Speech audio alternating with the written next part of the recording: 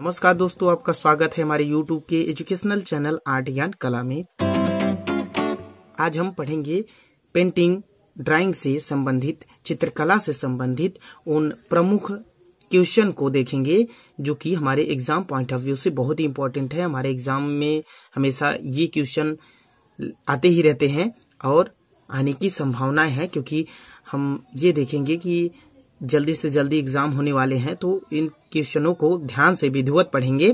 और मैं आपसे ये अनुरोध करूँगा कि वीडियो के पार्ट को देख रहे हैं तो उसको एक बार देख के छोड़िए मत, क्योंकि दोबारा उसका रिवीजन कर लीजिए, जिससे कि एक बार में अगर वो याद नहीं हो रहा है तो दोबारा आप पढ़ेंगे तो उसमें आपको वो जल्दी से याद हो जाएगा। और जो भी वीडियो है, उसके ऊपर क्वेश्चन के बारे में डिटेल में अगर आप कुछ कहना चाह रहे हैं, वो भी विधिवत बताएँ। जिससे कि आपका अच्छे तरीके से तैयारी हो जाए और अगर आप एक बार लिख देते हैं तो वो अच्छे से तैयार हो ही जाएगा। जो भी सुझाव देना है कमेंट्स बॉक्स में दे। आइए पढ़ते हैं क्वेश्चन नंबर एक।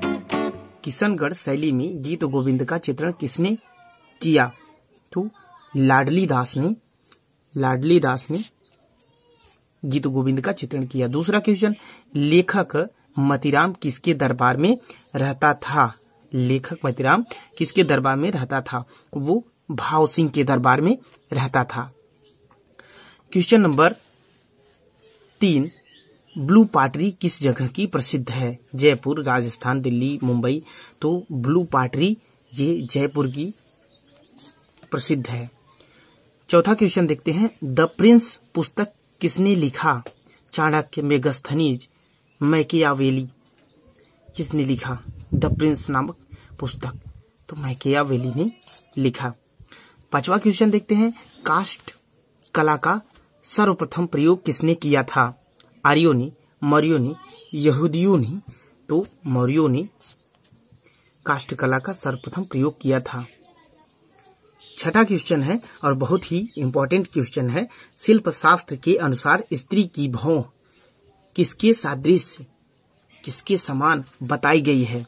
अंडाकार के समान, नीम के पत्ते के समान, धनुष के समान, मछली के समान। तो शिल्प शास्त्र में स्त्री के भाव को धनुष के समान बताया गया है। ये एक नंबर का क्वेश्चन बन ही जाता है कि किसकी भाव या कौन सी चीज़, किसकी नेत्र, किसके होठ, किस आकृति के, किस सादृश्य बनाए गए हैं इसको हम डिटेल से एक बार देख लेते हैं। चित्र सूत्र में सादृश्य को चित्र की प्रधान वस्तु माना जाता है। शिल्प शास्त्र के अनुसार अगर सादृश्य को देखा जाए तो मुखाकृति, जो मुखाकृति है स्थिर मुख है, वो अंडाकार दिखाया जाता है। पुरुष की भौ नीम की पत्ती के समान दिखाया जाता है। स्त्री की भौ धनुष के समान दिखाया जाता है। पुरुष की भौं नीम की पत्ती के समान, स्त्री की भौं, धनुष के समान। प्रसन्न नेत्र जो है, वो खंजन पक्षी के, खंजन पक्षी के समान दिखाया जाता है। और बिलासी जो नेत्र होते हैं, वो परवल के फाक के समय, समान दिखाया जाता है। परवल की फाक के समान। चंचल नेत्र जो है, वो मछली के समान दिखाया जाता है, क्योंकि मछली बहुत तेज होती है, वो इसलिए चंचल नेत्र जो होता है, मछली के समान दिखाया गया है। अधर ओष्ट को बिम्फल के समान दिखाया जाता है। जंघा को कदली अर्थात केले के वृक्ष के समान दिखाया जाता है। कमर, स्त्री की जो कमर है, उसको डमरू के समान दिखाया जाता है और पुरुष की जो कमर है, उसको सिंह के समान दिखाया जाता है, शेर के समान दिखाया जाता है। पुरुष के कंधे को गजमस्तक के समान दिखाया जाता है। अगर पुरुष की कंधे की बात आती है तो शिल्प शास्त्र में जो सादृश्य बताया गया है वो गजमस्त के समान गजमस्तक के समान दिखाया जाता है। और कान की बात किया जाए तो गिद्धाकृति गिद्धाकृति समान दिखाया गया है। और ठोंडी जो होती है ठोंडी वो आम की गुठली के समान दिखाया जाता है। तो ये शिल्प शास्त्र के अनुसार जो सादृश्य बनाए जाते हैं दिखाए जाते हैं ये आ, इस प्रकार से बारह तेरह पूछे जाते हैं क्वेश्चन में तो उसको डिटेल में बताया सातवां क्वेश्चन देखते हैं, हिंगेल ने किस कला को श्रेष्ठ माना है? हिंगेल ने किस कला को श्रेष्ठ माना है? तो वो काव्य कला है। काव्य कला को हिंगेल ने श्रेष्ठ माना है। आठवां क्वेश्चन है, मूर्ति कितने आयामी होती है? द्वियामी त्रियामी, त्रियायामी, एक आयामी या चार आयामी। तो जो मूर्ति होती है, वो त्रिआयामी होती है। त्रिआयामी नवा क्वेश्चन है, इनमें से किसने इम्पेस्टो से चित्रण कार्य प्रारंभ किया? टर्नर डोमी जॉन ब्रेट वाई विंची तो जॉन ब्रेट वाई जो है, उन्होंने इम्पेस्टो से चित्रण कार्य किया। दसवां क्वेश्चन है टाइबल आर्ट संबंधित है। जनजात से, आदि कला से, बौद्ध भिक्षुओं से, इनमें से कोई नहीं। तो जो टाइबन कला है, वो जनजात टाइबल आर्ट जनजात से संबंधित है। ग्यारहवा क्वेश्चन भारत में पहला फ़ोटो स्टूडियो कहाँ खोला गया? मुंबई, दिल्ली, कलकत्ता, पूना। तो जो पहला स्टूडियो, फ़ोटो स्टूडियो खोला गया, वो कलकत्ता में खोला गया। बारहवा क्वेश्चन अभिवंजनावादी चित्रकला का प्रारंभ हुआ इटली, जर्मनी, फ्रांस, पेरिस। तो अभिवंजनावादी जो कला का चित्रकला का प्रारंभ हुआ, जर्मनी में प्रारंभ हुआ। तेरहवा क्वेश्चन अनारकली की कब, कब्र कहाँ है? फतेहपुर, लाहौर, दिल्ली, आगरा। तो लाहौर में अनारकली का लाहौर में कब्र है। चौदहवा क्वेश्चन है, साक्षी कला बनाई जाती है, भूमि पर, दीवार पर, कपड़ा पर, कागज़ पर। तो भूमि पर बनाई जाती है। पंद्रहवा क्वेश्चन है, जैन शब्द का अर्थ क्या है? विजेता, महापुरुष, तीर्थंकर, शक्ति। तो विजेता, ये जैन का शाब्दिक अर्थ है। सोलहवा क्वेश्चन है, किसके समय में सर्वाधिक रथ संबंधित चित्रण हुआ है? शाहजहां, दारा फरुख सियार या औरंगज़ेब। किसके समय सर्वाधिक रथ संबंधित चित्रण हुआ है तो वो फारूक सियार के समय सबसे ज़्यादा रथ संबंधित चित्रण हुआ है।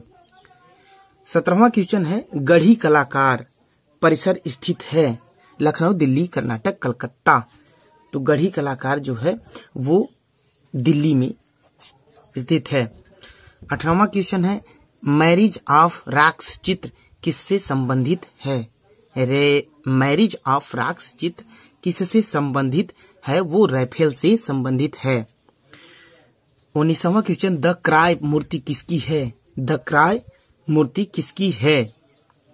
तो द क्राय मूर्ति, ये अमरनाथ सहगल की है, बहुत ही फ़ेमस मूर्ति है, अमरनाथ सहगल की द क्राय बीसवा क्वेश्चन है, रागनी मधु माधवी चित्र संबंधित है। बीजापुर गोलकुंडा, अहमदनगर या कश्मीर। तो गोलकुंडा से संबंधित है। ये गोलकुंडा से संबंधित है रागनी मधु माधवी इक्कीसवा क्वेश्चन सैनिक का स्वप्न किसका चित्र है? मोने, माने सिसली, रेफेल, सूजा। किसका चित्र? स्वप्न, सैनिक का स्वप्न किसका चित्र है? तो सैनिक का स्वप्न ये जो चित्र है, वो रेफेल का चित्र है। तेईसवा क्वेश्चन विश्व संग्रहालय दिवस कब मनाया जाता है? पाँच मई, अठारह मई, उन्नीस जून, तेरह जून। विश्व संग्रहालय दिवस 18 मई को मनाया जाता है। गुप्तकालीन लक्ष्मण गुप्तकालीन लक्ष्मण मंदिर कहाँ है? कानपुर, अजमेर, मेरठ, जोधपुर। तो कानपुर, उत्तर प्रदेश में गुप्तकालीन लक्ष्मण मंदिर है। पच्चीसवा क्वेश्चन है। पच्चीसवा क्वेश्चन जहाज़ महल कहाँ स्थित है? जहाज़ महल अजमेर, दिल्ली, जयपुर या मांडू? तो जहाज़ महल मांडू में स्थित है। छब्बीसवा क्वेश्चन। डिवाइन कॉमेडी के लेखक हैं। कौन है? Pissarro, Sisley Dante, Moore. तो डिवाइन कॉमेडी के जो लेखक हैं, वो दांते हैं। सताईसवा क्वेश्चन है, तिरंगा झंडे की लंबाई का माप जो है, वो क्या है? दो संबंधी तीन तीन संबंधी दो दो संबंधी दो, तीन संबंधी तीन। तो ये ऑप्शन नंबर बी सही है, तीन संबंधी दो। ये तिरंगे झंडे की अपने राष्ट्रीय ध्वज की माप है। अट्ठाईसवा क्वेश्चन है, Birla Academy of Art and Craft कहाँ स्थित है? दिल्ली, मुंबई, कलकत्ता, लखनऊ। तो Birla Academy of Art and Craft ये कलकत्ता में स्थित है। तो दोस्तों, ये रहा मेरा बहुत ही इम्पोर्टेंट क्वेश्चन इनमें से पूछ सकते हैं आपको। तो ये बहुत ही ध्यान से, गौर से आप पढ़ें और एक बार फिर से इसको पढ़िए। अच्छा लगे तो लाइक ज़रूर करें। आपको कोई भी वीडियो मेरा अच्छा लगे तो लाइक एक बार ज़रूर करिए और शेयर करिए, जिससे आपके दोस्तों तक पहुँचे। Thank you for watching video